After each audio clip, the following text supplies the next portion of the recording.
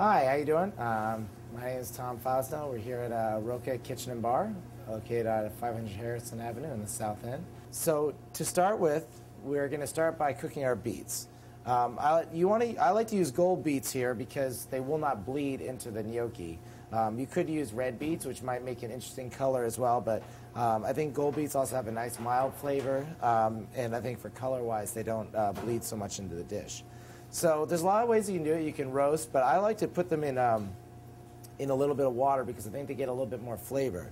Um, so we'll start with a couple of beets in the pot. Um,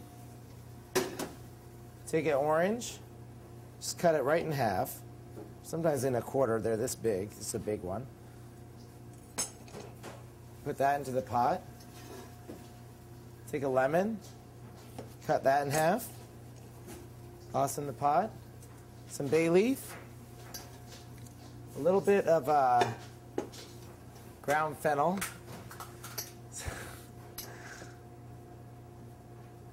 Just a few pinches. You can also use whole fennel seed.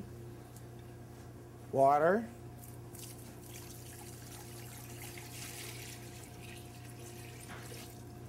So you can see the water should nicely cover the beets um, because they're going to take a little while to cook. They probably take at least you know an hour uh, to cook. Salt, a few twists of black pepper, and uh, put that on the stove. You always want to start with cold water when you're using uh, uh, root vegetables so that they cook evenly. If you put hot water in, the outsides will cook before the insides. So while our beets are cooking, uh, we're now going to roll our gnocchi. There's a lot of different ways to make gnocchi. My favorite way, though, is to keep it really simple. Just I use eggs, flour, cooked potato, and salt. Um, some people add fold ricotta in, which adds a, little bit of nice different flavor, uh, but I really like to keep it simple. Um, so we have our dough here. Gnocchi dough should not be should be pretty soft, as you can see. Like it shouldn't be if it shouldn't be elastic like a bread dough, because if it is, that means it's added too much flour and it's overworked. It should be probably the texture of um, a little bit more elastic, my feeling is, than mashed potatoes. Um, you, want them, you want it to be able to form it like a dough, but it, but it should break apart. It shouldn't stretch. So, and you're also going to need to add a little bit more flour too. So the most important thing about gnocchi is to make sure you have the proper amount of flour. Too little and the gnocchis will fall apart. Too much and they'll be like um, rubber balls essentially. So you fold it in, add a little bit of flour. You cut it now.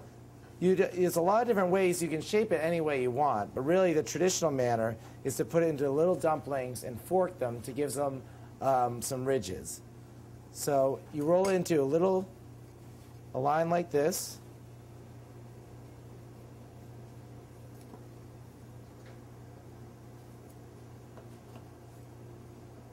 We cut them and then what we'll do is you roll them like this. Put them on the edge of a fork.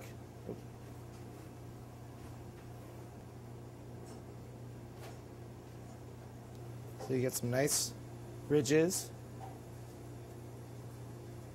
And like a little bit of a bend over, so it sort of looks like a shell.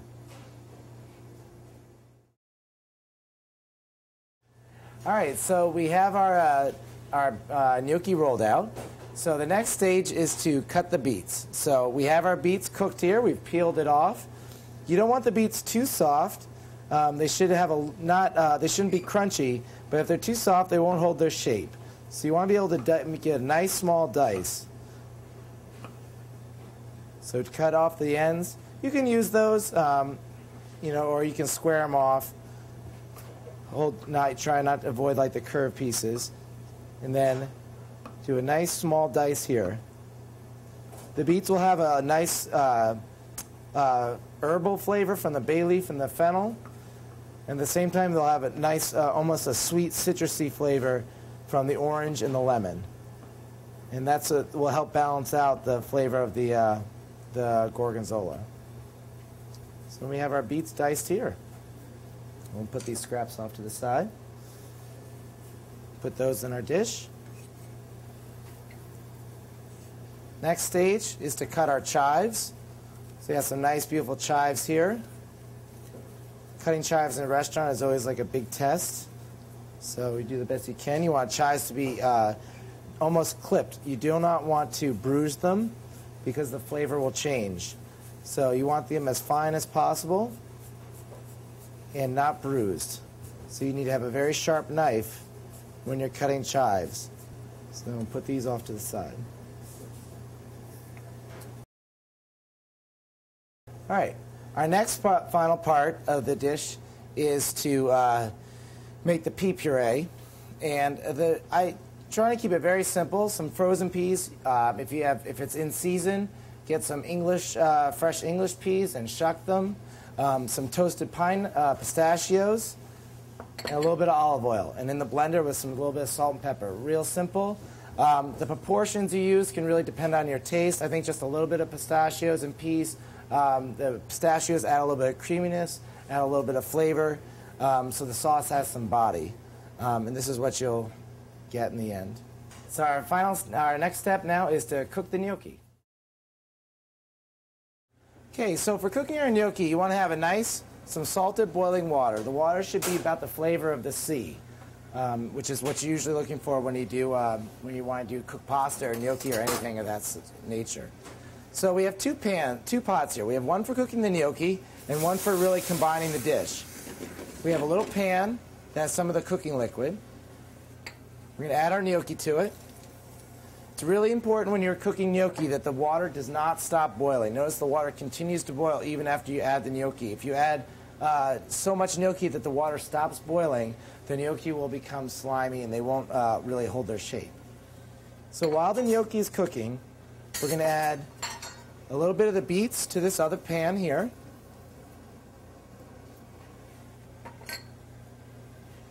And we're going to get this heating up. What we're going to use here is, uh, is a little bit to toss the um, beets with. Adding to our beets now, we're going to add a little bit of butter.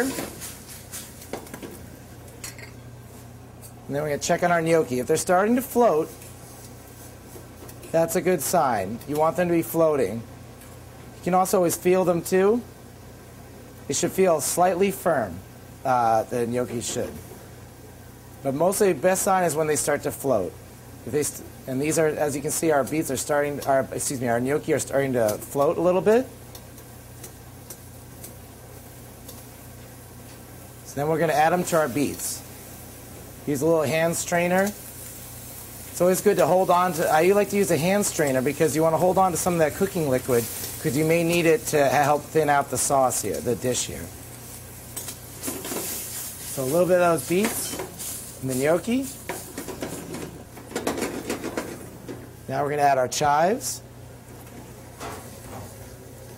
And then our gorgonzola cheese at the last second.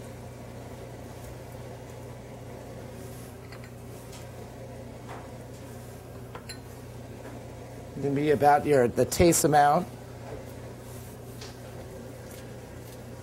The gorgonzola cheese will start to melt a little bit.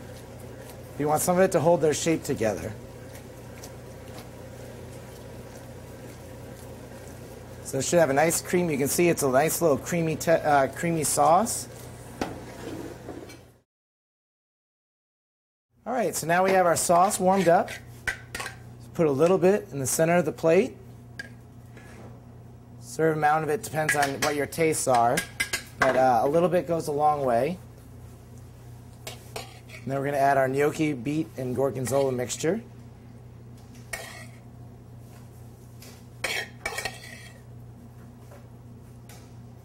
And you just put a little bit on there. If it seems a little thick, you can always add a little bit of water. A little bit more of the pasta liquid. That's always, always good to hold on to the pasta cooking liquid. And there we have our uh, potato gnocchi with golden beets, gorgonzola, and pistachio pea puree.